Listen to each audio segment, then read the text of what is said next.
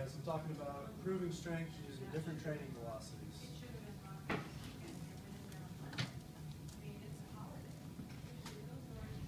So uh, this is the force velocity curve.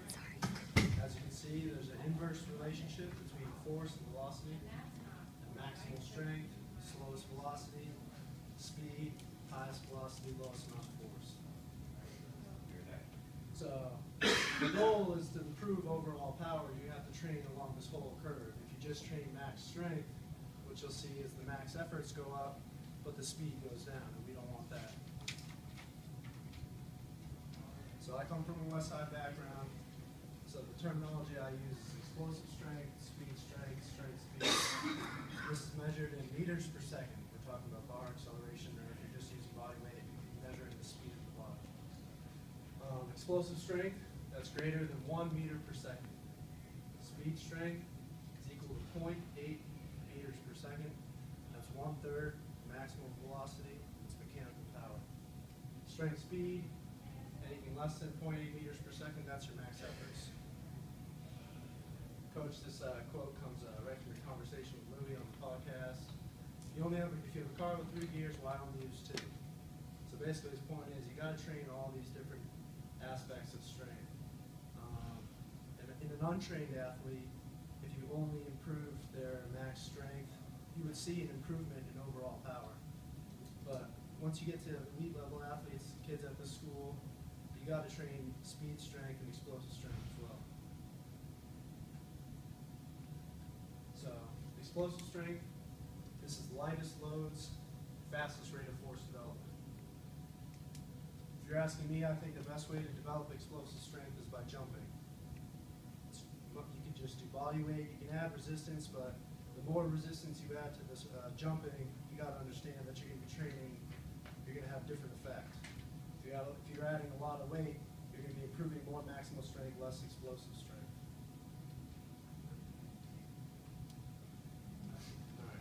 Accommodating resistance. Accommodating resistance prevents deceleration and maintains a constant velocity through the range of motion. My two favorite methods for accommodating resistance are chains and bands. What that does is, at a full, at the, at your parallel depth, you're weaker than you are here at a half squat or at a quarter squat. So if you have bands on, attached to the bar, at the top, it's gonna be the heaviest, because that's where you're strongest. When you get to the bottom, it'll be the least amount of resistance, because that's when you're weakest. So the effect it has is it can keep, if you use it properly, it'll keep the bar speed at 0.8 meters per second throughout the whole range of motion. Same with the chains.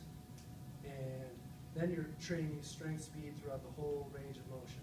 When I was in college, my strength coach, if we wanted to do speed squats, we would just lighten up the bar. That's not correct because at the bottom, it'll be the correct percentage of your superior strength. But as you go up, the percentage of your maximal strength will actually be decreasing, so the bar is actually decelerating through the range of motion. Um, Bands also promote overspeed centrics. You have to be careful about when you use them in your programming, but overspeed centrics, the faster the bar goes down, the faster you're gonna go up. It's just simple physics. Speed strength. The nature of Olympic lifts just makes them promote speed strength. If you took the highest level Olympic lifters and measured the bar speed, you'd find an average right around 0.8 meters per second. Um, Coming from a West, West Side background, I do speed squats, speed bench, speed uh, deads. So you got mo- moderate loads at a high volume. Um, Research has found that the best uh, range to train speed strength is between 75 and 85 percent way we do it at West Side, from the West Side program is a three-week pendulum wave from 75 percent, 80 percent, 85 percent. And then you cycle back to 75 percent, changing something in the lift, either the band tension, the amount of chains, the bar that you're using, the depth that you're squatting to. Alright, so here's an example of how I would set up for a speed. A three-week wave from fifty to fifty-five to sixty percent of barbell weight, using twenty-five percent added tension from bands or weight from chains. For bench, it's a little bit different, 40, 45, 50% barbell weight with 35% chains. So if you add up those percentages, you'll find that there will be a three-week wave between 75 and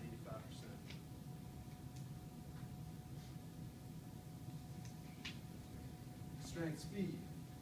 These are your ma- max efforts. These are your heaviest loads, lowest volumes. Um, Seventy-two hours between max effort is optimal for CNS recovery. Um, I put train optimally up there. What I mean by that is, you're trying to break records, you're trying to set new maxes, but if every time you go for a max effort, you end up failing on your last set, it's just gonna take, it's gonna be that much more damage to your muscles, you're gonna have to take more, longer time to recover, so. Train optimally, I mean, get a new max that day, and then save a little bit in the tank for next time. That way you're constantly improving. Um, And that's all I got, guys, so I'm opening up for questions. Okay, so what we want to do is with these presentations, we, we want to be, uh, more, you know, a discussion. You know, so having given your topic, what would be a discussion question? Um, I guess you could discuss the benefits of Olympic lifting versus using bands and chains on the squat or bench.